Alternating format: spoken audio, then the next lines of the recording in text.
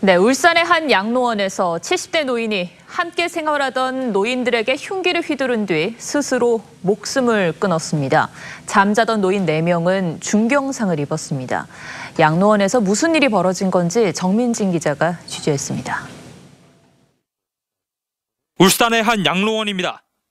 몸이 불편한 기초수급 노인들이 지내는 곳입니다. 오늘 새벽 0시 10분쯤 이 양로원 2층에서 78살 오모 씨가 자신의 방과 옆방에서 자던 노인 4명에게 흉기를 휘둘렀습니다. 누워 자는데 가슴이 답답한 보이니까 70살 한모 씨가 크게 다쳤고 3명이 경상을 입었습니다. 당시 야간 당직자가 한 명 있었지만 흉기 난동을 막지는 못했습니다.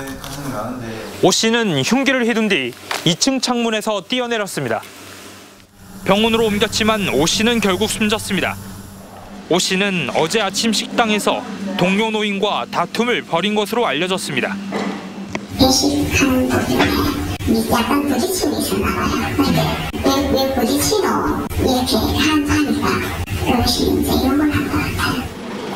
경찰은 오 씨가 평소 갈등을 빚다 홧김에 흉기를 휘두른 것으로 보고 있습니다.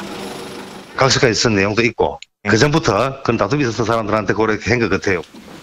경찰 조사 결과 숨진 오 씨는 치매 전조 증상이 있었지만 우울증을 겪지는 않았습니다.